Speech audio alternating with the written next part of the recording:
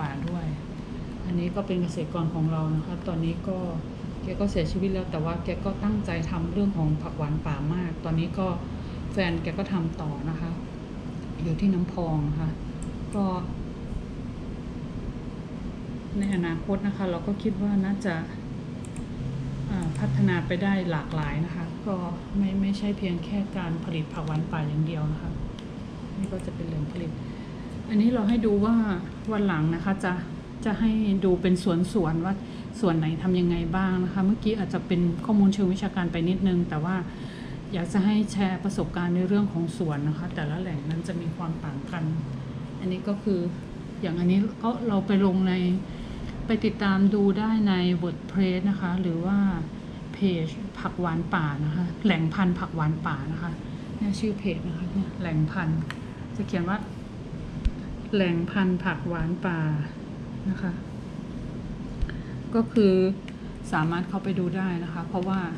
แหล่งพันธุ์ผักหวานป่าเราก็จะเผยแพร่ความรู้แล้วก็ประสบการณ์การผลิตผักหวานป่าของแต่ละแหล่งให้ดูนะคะว่าอย่างเนี้ยที่น้อยที่น้ำพองทำยังไง ที่พ่อสวัสดิ์อยู่บ้านม่วงกสินทำยังไงพ่อบุญยืนวงกระโซ่ที่อยู่ที่หนองแคนที่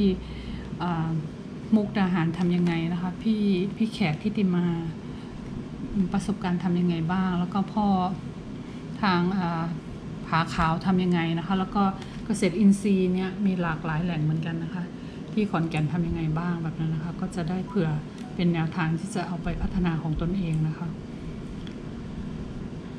แหล่งผักหวานป่าที่ได้รับรองเป็น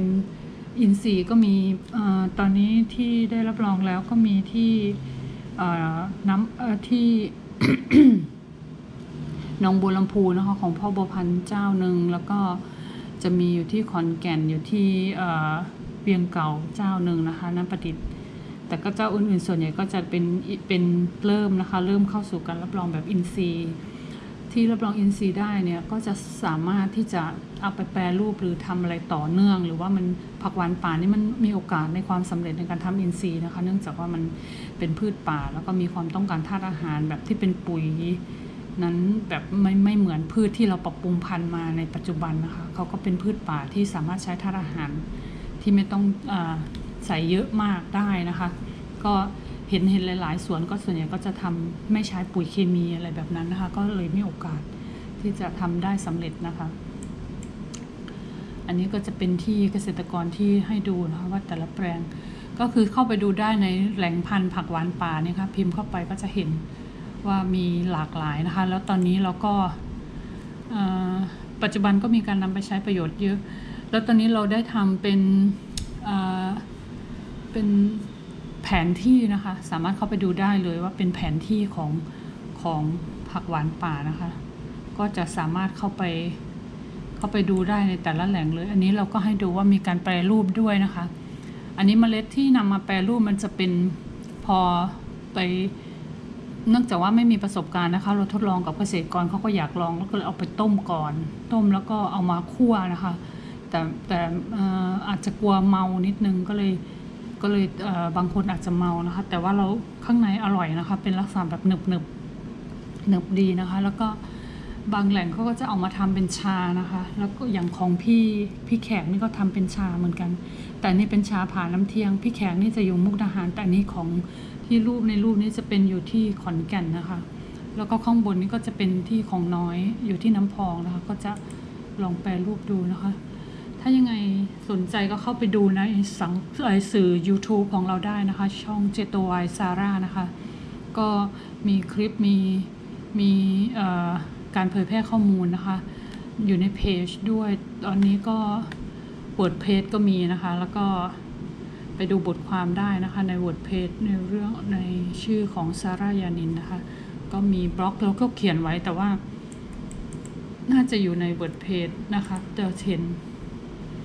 จะเห็นได้เยอะนะคะ ก็ถ้าสนใจก็เข้าไปดูได้นะคะ เดี๋ยวเราจะให้ดูบางส่วนนะคะที่เป็น ที่เป็นลักษณะที่เราดิสเพลย์ให้ดูนะคะว่าการที่ผลิตผักหวานป่านั้นมันนอกจากที่จะประสบการณ์ที่แลกเปลี่ยนอยู่ใน YouTube แล้วนะคะ ก็กดเข้าไปคลิกเข้าไปดูได้นะคะ เดี๋ยวเราจะให้ดูลักษณะของผักหวานป่าเอ่อถ้ายังไงนะคะ ถ้าสนใจนะคะก็เข้าไปเข้าไปในเพจเพจที่เขียนว่า แหล่งพันธุ์ผักหวานป่านะคะ แหล่งพันธุ์ผักหวานป่า ก็คือเราก็จะใส่ใส่ข้อมูลเข้าไว้ให้นะคะว่า แหล่งพันธุ์ผักหวานป่าในภาคอีสานตอนบน ก็จะให้ดูได้เข้าไปดูได้นะคะว่ามี กี่แหล่งมีตรงไหนบ้างอะไรเงี้ยนะคะ ก็ เดี๋ยวให้ดูนะคะ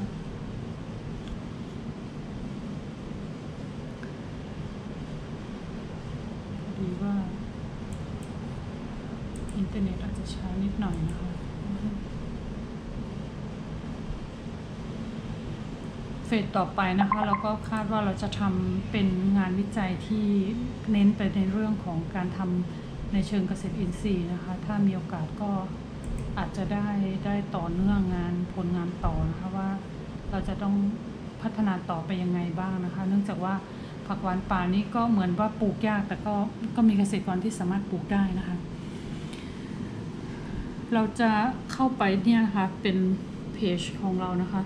จะเขียนว่าแหล่งพันธุ์ผักหวานป่านะคะ เข้าเข้าไปดูได้นะคะ ซึ่งตอนนี้เราก็ได้เผยแพร่ในเรื่องของ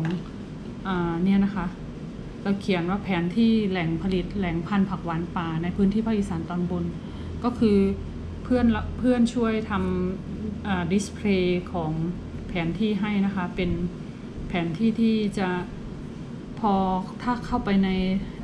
เพจแหล่งพันธุ์ผักหวานป่าเสร็จแล้ว ก็จะเมื่อไปเห็นรูปนี้ก็กดคลิกเข้าไปดูได้เลยนะคะ ก็ในนี้ก็จะพบพบในพอคลิกเข้าไปนะคะ มันก็จะเป็นแหล่งที่เห็นไหมคะ ก็จะเป็นอันนี้ก็คือเป็นแผนที่ของประเทศไทย แล้วข้างบนนี้ก็จะเป็นประเทศลาวใช่ไหมทางอีกฝั่งหนึ่งก็จะเป็นทางภาคเหนือ ทางเชียงใหม่ทางภาคเหนือฝั่งฝั่งทางนี้ก็จะเป็นแถบที่เป็นทางเวียงจันทร์อะไรเงี้ยนะคะ ซึ่งถ้าเราเข้าไปดูข้างในเนี้ยเขาจะปักหมุดให้เลยนะคะว่าเป็นที่ไหนนะคะ ทีนี้ถ้าเราสนใจว่าเราอยากจะไปดูแปลงของพ่อบัวพันธ์มันจะมีชื่อขึ้นเราก็คลิกเข้าไปเลยนะคะ มีชื่อขึ้นเราก็คลิกเข้าไป ก็จะเข้าไปเห็นแปลงของพ่อบัวพันธ์เลยนะคะ ก็ ใครอยู่ใกล้ตรงไหนก็สามารถเข้าไปดูได้ มันจะมีตั้งแต่แถบแถบอีสานตอนบนทั้งหมดเลยนะคะ 11 จังหวัดก็จะมีเข้าไปนะคะ กดเข้าไปดูได้ เน็ตอาจจะช้านิดนึงนะคะเนี่ยค่ะ กดเข้าไป สมมติว่าจะไปดูพ่อสำอ่าสำเนียงเกิดไทย บัวพันธุ์บุญอาจ นี่นะคะ พอกดเข้าไป แล้วก็จะมีตรงนี้นะคะ เป็นเนี่ยอย่างสำเนียงเกิดไทย แล้วก็มันจะมีตรง มันจะขึ้นให้เห็นนะคะ แล้วก็กดลิงก์ตรงนี้นะคะ กดลิงก์เข้าไป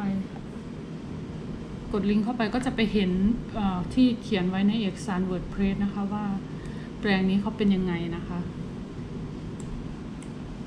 ก็อาจจะต้องนะคะล็อกอินเข้าไป อาจจะต้องล็อกอินเข้าไป account ของ WordPress นะคะ ลองล็อกอินเข้าไปนะคะ ก็จะเห็นนะคะ